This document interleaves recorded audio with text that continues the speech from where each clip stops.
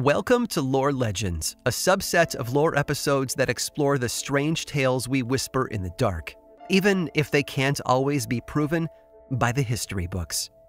So if you're ready, let's begin.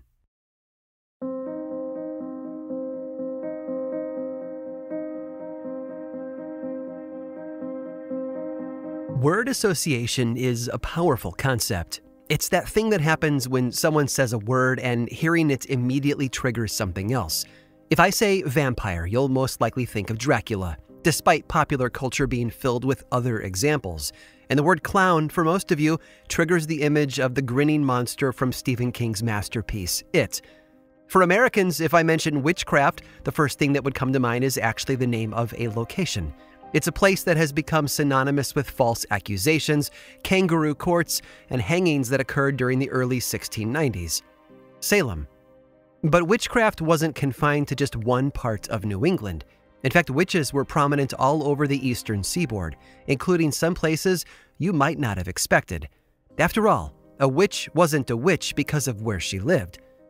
As Brazilian novelist Paulo Coelho once wrote, a witch is a woman that is capable of letting her intuition take hold of her actions, that communes with her environment, that isn't afraid of facing challenges. And if there's one thing that women all over the colonies of early New England could count on, it was that they would always have challenges to face, which is why so many of their stories have such a familiar flavor. Unsubstantiated legends, littered with superstition, accusation, and most of all, fear. I'm Aaron Mahnke, and this is Lore Legends.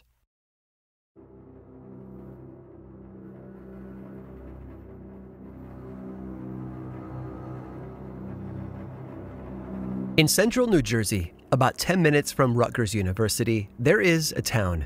It was once home to a band of indigenous Lenape known as the Raritan, who were pushed out when the Europeans arrived during the 17th century. The village that was built there was called Piscataway Town, and at its center was the St. James Church. Piscataway Town eventually broke up into several different settlements, mainly Piscataway, Raritan Township, and Woodbridge. But in 1876, inventor Thomas Edison moved to the area and set up shop in a small, unincorporated community known as Menlo Park. Clearly, Edison made a name for himself, and folks were proud to call him one of their own. So in 1954, to honor the controversial inventor, Raritan Township was renamed after him. It has been known ever since as Edison. A big part of Edison, New Jersey is that St. James Church I mentioned a moment ago, along with its accompanying burial ground. The Piscataway Town Burial Ground is amongst the oldest in Middlesex County, and the oldest grave within its borders dates all the way back to 1693. It belongs to the Hooper brothers, two young children who tragically died after eating poisonous mushrooms. But the grounds are also home to many other notable individuals who shaped the landscape of both the Garden State and the country as a whole. Among those interred are members of the town's founding families, British Revolutionary War soldiers, Civil War soldiers, and a man named Thomas Harper. Harper apparently declined to move for an incoming tornado in 1835, refusing to give in to the fear of the wrath of God. Needless to say, that didn't work out too well for him. But perhaps the most well known burial of them all is that of Mary Moore, the Witch of Edison.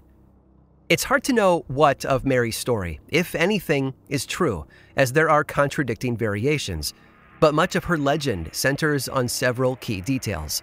For example, Mary was a local colonial woman who was not on the best terms with her neighbors. They thought that she was odd. According to the local historical society, Mary, and I quote, caused animals to do strange things, she grew strange plants, and she dressed like a witch. Unsurprisingly, Mary was formally accused of witchcraft and was executed in October of 1731. She was only 40 years old at the time. Now, according to some people, she was hanged for her crimes. Others believe that she was burned at the stake, although that's just an expression of the common misconception that American witches were burned. One version of events even claimed that she poisoned herself after murdering her own husband.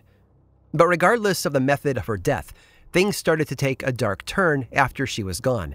The prevailing story is that Mary was buried beneath a simple headstone in the back corner of the Piscataway Town burial ground but that's not the tale known by locals. They heard that after her execution, the townsfolk feared that Mary would rise from the dead, so they did what any unreasonable mob would do. They cut her body into three separate pieces and buried them in three separate cemeteries. Since then, her legend has only grown.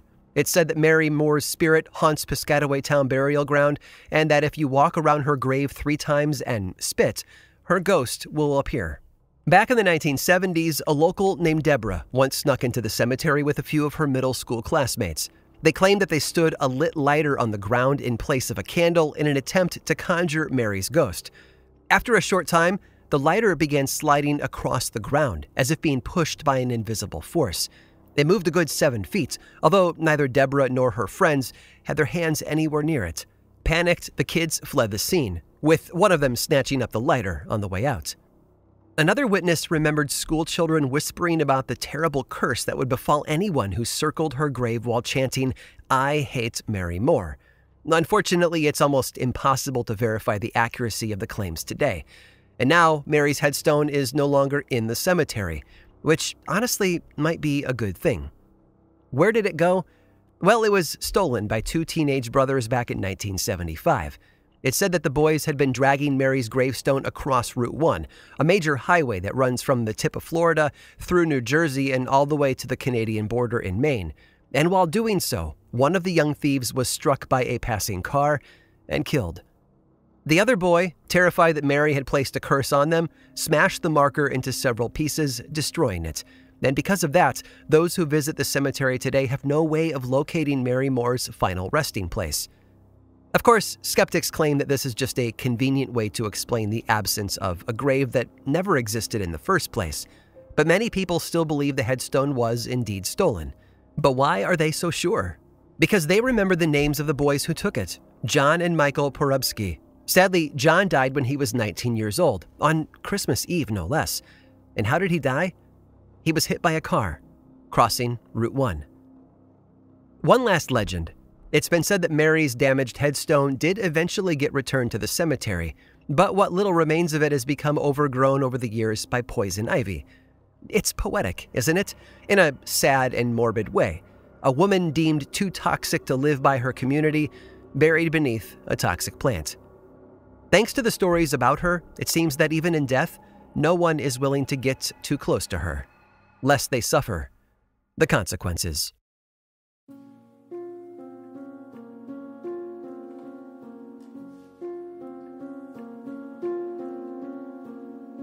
Eunice Cole was born in England around 1580. She and her husband William had worked as indentured servants for Matthew Cradock, the first governor of the Massachusetts Bay Colony. But he allowed them to pay off their debts early and to join other settlers heading to the New World.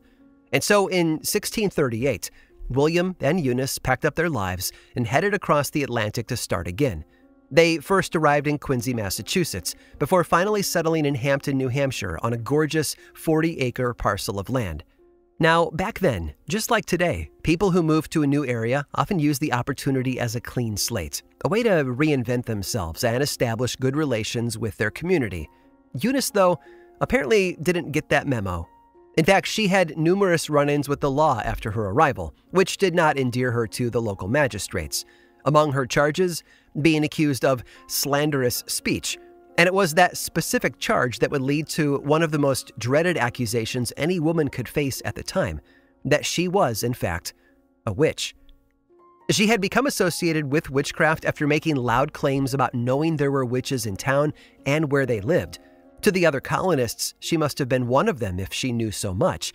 She was often seen mumbling to herself, and her appearance was disheveled, which her neighbors used as evidence against her. Looking back, though, it's clear that Eunice, who everyone referred to as Goody Cole, was being targeted because she was just a rude, strong willed woman who didn't shy away from speaking her mind. There were other rumors after that, like the claim that she had hexed two calves belonging to Thomas Philbrick after catching them grazing on her lawn, she told Philbrick that if she saw them on her property again, she'd hope the grass would choke them to death. And a short time later, those cows died. Those rumors and accusations eventually culminated in her first witch trial, which was held in Boston in 1656. Much of the community made the trip to the courthouse to accuse her and testify against her. That's how unliked she was. Salisbury Constable Richard Ormsby also conducted an examination of her body. He stripped her down and found a witch's mark on her skin, which he described as, and I quote, a blue thing like unto a teat hanging downward, about three quarters of an inch long. And this birthmark, along with the community's testimony against her, were enough to convict Goody Cole of familiarity with the devil. She was sentenced to be whipped and then imprisoned indefinitely for her crimes. For the next 17 years, Goody Cole moved in and out of jail.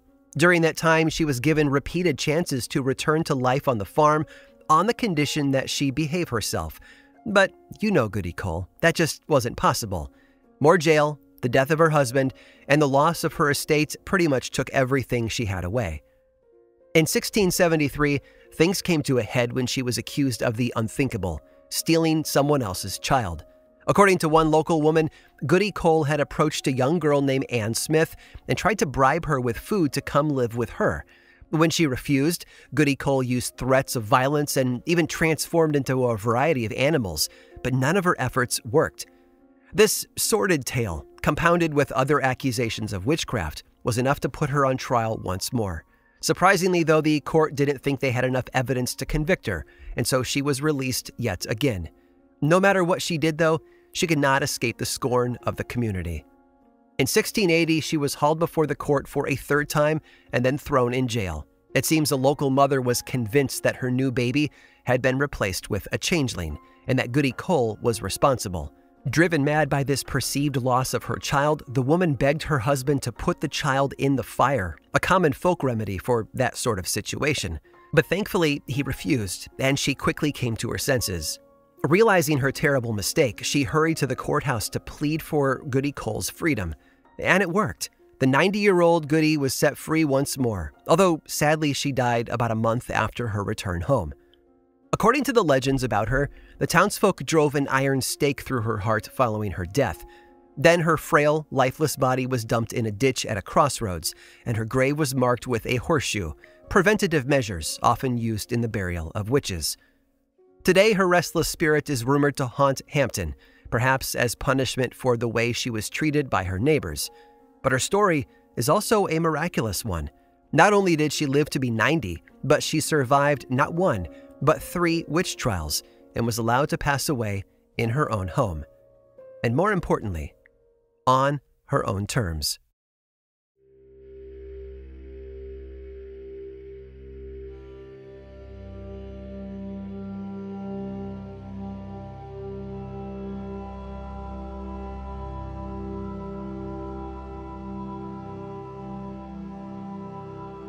In 1691, a magazine called the Athenian Mercury published an article about a ship. It was called the Recovery, and it had experienced a series of small disasters in its relatively short life. But those small disasters had started to add up to bigger problems while the Recovery was at sea. Parts of the ship started to break, the crew came down with a terrible sickness, and people on board were dying. Now, clearly, life on the high seas was rough, even more so back then. Not everyone was cut out for it. Maybe these stories were just their way of coping with the fact that they couldn't hack it as sailors, or perhaps there was something more nefarious at play. It started on October 23rd of 1674, when the Recovery first set sail from Plymouth, England, bound for Virginia. The ship was immediately met with bad winds that split several masts and sails, broke the running rigging, and caused the loss of the anchors. You don't have to know a lot about ships to know that the wind seemed to break everything. According to the captain, what was mended one day would the next be in pieces. But before long, the winds calmed down and the ship continued onward. It was headed toward Portugal, where it was supposed to collect a shipment of wine. But the recovery's bad fortune seemed to follow it wherever it sailed. The delivery couldn't reach the ship due to a series of mishaps, and the wine was lost to the sea. Around this time, the folks on land began warning the recovery's crew that they might be facing more than just some bad luck. They might have a witch on board. And the crew started to believe them, because after that, their problems only got worse. Once they were back on the water, they noticed how pieces of the ship continued to break and fall off. As the captain put it, neither iron, wood, ropes, or canvas would hold. Ironic that a ship called the Recovery could not bounce back from its problems, no matter how hard the crew tried. But that wasn't all, because misfortune only escalated from there. Soon enough, the ship had to face its first death when a passenger fell overboard and drowned. And that event opened a proverbial can of worms, or maybe Pandora's box, depending on how you look at it. One death soon became two after a man was hurled off the main topmast toward the stern of the ship and drowned underneath. And then a third death quickly followed when another man tumbled over the upper deck and also drowned. On top of these freak accidents, the surviving passengers and crew were also struck by illness. It didn't kill them, but it didn't make them stronger either. It left them weakened and incapacitated. And so the whispers about witchcraft continued to grow. One afternoon, word spread across the ship that there was not only one witch on board the Recovery, but also two in England conspiring against them. The ship's master prayed for God to reveal the reason for their miseries, and as though he were being answered by God directly, he spotted one particular passenger acting in a strange manner. Her name was Elizabeth Masters. She was the only woman on deck, and she was on her knees near the ship's tack, the rope holding down the lower corner of one of the sails and her hands were lifted in prayer. The following day, that same tack snapped, despite there being almost no wind. Soon after, the foresail broke, and it looked as though someone was deliberately tampering with the recovery. So the shipmaster did the only thing he could do. He locked Elizabeth Masters in steerage, hoping that keeping her off the deck would prevent any further catastrophes. But moving her to a different part of the ship didn't help. As they headed toward the West Indies, the crew decided to take stock of the beverages they still had on hand. A long journey required copious amounts of alcohol and water for everyone on board.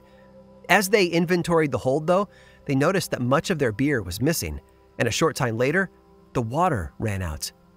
Meanwhile, more of the ship continued to break as ropes snapped and sails collapsed. One man, a passenger named William Reynolds, claimed that Elizabeth Masters had come to him in the dead of night asking him to join her gang, offering him vast riches if he complied. She claimed to have known his mother, who she declared was also a witch. There was just one problem Elizabeth was still locked in steerage, with no method of escape. Reynolds refused her offer, of course, a decision that seemed to have an ill effect on the rest of the recovery. Ghostly black cats began to appear on board running and disappearing before they could be caught. One passenger managed to corner one of the black cats and attack it with a sword. He hit it three times before it vanished into thin air. The demonic cats popped up sporadically after that, though, leaving everyone on edge. Quartermaster Frederick Johnson reported that while out for a smoke late on the evening of December 6th, a black cat appeared from out of steerage, where Elizabeth Masters was still being held. According to his testimony, no cats had ever been brought onto the ship. And then one night, the hauntings became more tangible. A crew member named William Goodfellow awoke in the night to the strange sensation of something heavy walking on him. He opened his eyes and looked around, but nothing was there. When he examined his body, though, he discovered something that sent a chill down his spine. Right there, imprinted on his thigh in purple and black, like a bruise that was a week old, was a curious mark he couldn't explain away. It was as if whatever had walked over him had been so heavy it had gone right through his clothes. It was the footprint of a cat.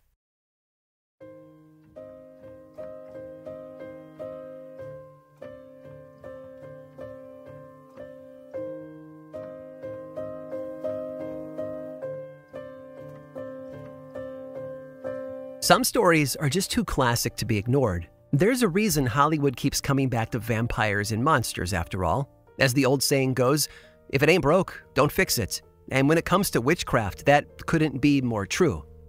The stories about witches that people have whispered over the centuries always seem to have a certain common element.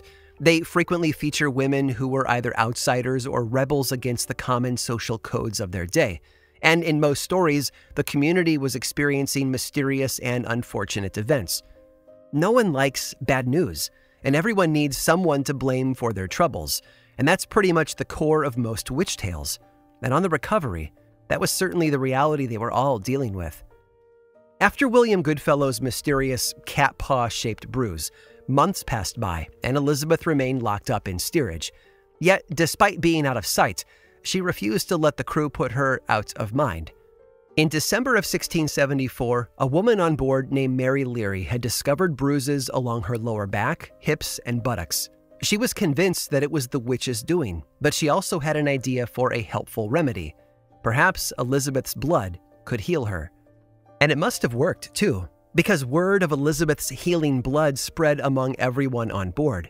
Pretty soon, sick and injured passengers were pricking the witch with knives and needles, drawing a bit of her magical blood to smear on themselves.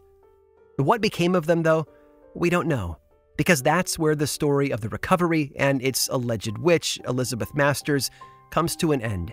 Was the ship truly hexed, or was this a case of superstition and paranoia simply run amuck, fueled by a poorly built vessel and an old woman in the wrong place at the wrong time? Or, worse still, was the entire story, only reported by the Athenian Mercury, simply the creation of someone's imagination? We may never get the answer, just like we may never know what happened to Elizabeth Masters. The article ends without ever revealing her fate, but I think it's safe to assume whatever it was, it wasn't good.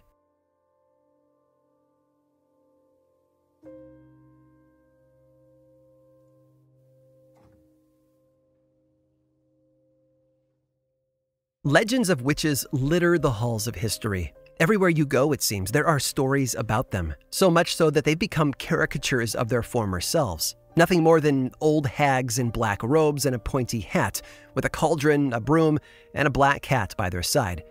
But that cat isn't always obviously evil. In fact, sometimes the question doesn't have an immediate answer, and one other legend we've tracked down makes that clear. Stick around through this brief sponsor break to hear all about it.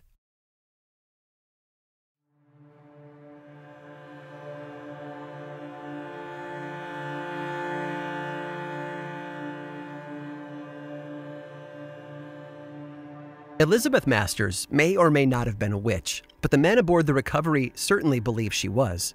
According to their stories, she had been responsible for the mysterious deaths, the damages, and the sickness that plagued their ship for months. In all likelihood, though, they were simply blaming an innocent woman for the hardships of being at sea. But they also might have been onto something, because deep in the Smoky Mountains of Georgia, another group of men faced off against an invisible evil, one that would stop at nothing until they were all dead. The tale originally appeared in the Journal of American Folklore back in 1894, although its origins aren't very clear. It began with a mill owned by a man known only as Mr. H. Now, Mr. H employed a number of workers at his mill, all of whom were unmarried and lived there in the mill when they weren't on the clock. But after a while, Mr. H started to notice that the men working for him were getting sick and not recovering. In fact, three millers in a row had died only a short time apart. Doctors couldn't figure out what was causing these men to perish. It was unlike any disease they had seen before. The workers didn't suffer long, though, and each one tried to say something to his fellow men before he passed on. It was like they were trying to let others know what was killing them. And as they died, one by one, the facility grew increasingly emptier. It developed a reputation of dread and foreboding among the locals, particularly the long, low room near the entrance where all those dead mill workers had once slept. After a while, nobody wanted to go near the mill for fear of what might be waiting there for them to strike next. Not until one neighbor volunteered to run the abandoned facility himself. He gathered his things, sharpened his axe, and arrived at his new place of employment ready to work. On his first night, he started a fire in the hearth. It warmed his cold, tired body as he fed it more wood to keep it going. And that's when he spied a dark figure in the shadows between the chimney and the door. It was a small brown cat, crouched low and watching him, presumably trying to get warm itself. The man paid the cat no mind and continued to stoke the fire. And when it had finally come to a roar, he sat down in his chair and pulled out his Bible for an evening of study. But something was wrong. He could feel it. A growing sense of dread had washed over him, deepening and soon blossoming into outright horror. There was no reason for it, it was just a feeling. The cat, also sensing something, crept out from its corner and began yowling and scratching at the door. It wanted out of the room. It turned to the man and rubbed against his legs before looking up at him. And the man went pale. He knew those eyes set within the feline skull like two glowing balls of fire. In a fit of terror, he grabbed his sharpened axe and raised it high over his head, bringing it down with a definitive whack across one of the cat's paws. It screamed, but not like a cat like yelp, more like a human woman's pained shriek. It fled the room, up the chimney, and vanished into the night. Immediately, the man left the mill as well and headed home, unwilling to spend the rest of his evening in such a haunted place. When he got home, he opened his door to discover his wife on the floor, writhing in pain. She was bleeding to death, and one of her hands was missing. The animals we love and welcome into our homes are more than just pets. They're friends, even family, but they haven't always been seen that way. Because if the legends from folklore are any indication, that cat in the corner, licking its paw, may not be the mouse hunting companion that we thought it was. It might be something else, or someone else, just waiting for the right time to strike.